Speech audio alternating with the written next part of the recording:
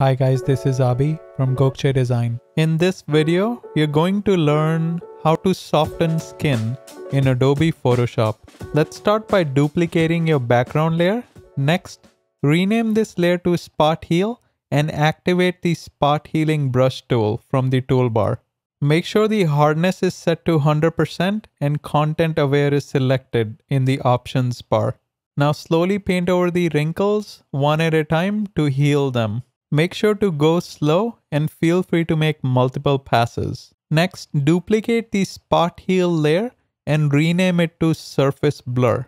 Right click and convert to smart object so we can apply a filter. Go to the filter menu, then choose surface blur from the blur dropdown. Enter 50 for radius and 40 for threshold. Now hold the Alt or Option key and click on the Add Layer Mask button to create an inverted mask. Activate the brush tool from the toolbar and make sure the flow is set to 100% and the foreground color is set to white. Now slowly paint over the areas that require softening. Avoid areas with lot of small details such as eyes, hair, and mustache. Hold the Alt or Option key and click on the layer mask to check if you missed any areas. Feel free to paint in the black and white mode. Reduce the opacity of this layer to 80%, then duplicate the spot heal layer and move it to the top of the layer stack. Rename this layer to texture, then right click and convert to smart object so we can apply a filter. Go to the filter menu and choose high pass from the other dropdown.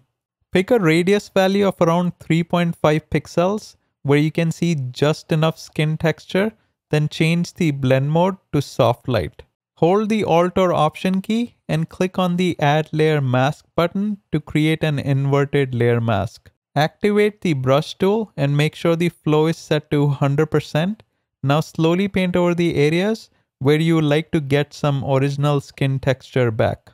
Reduce the opacity of this layer to 50%, then bring in a curves adjustment layer and bring the curves line up a bit to increase the overall brightness.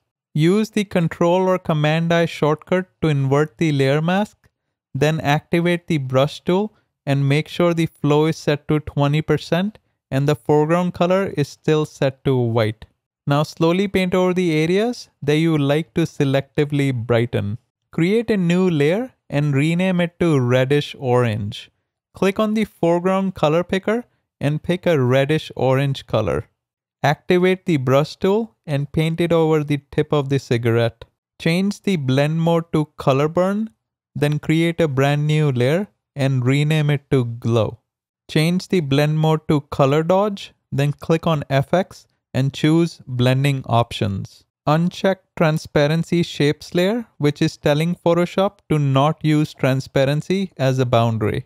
Change the foreground color to white, then activate the brush tool and change the flow to 10%. Slowly paint over the reddish orange color to make it glow. You can also paint over the iris and the whites of the eye to brighten them up as well. Finally, let's look at the before and after images. Looks good to me. Make sure you like, subscribe, and turn on the notification bell. Until next time.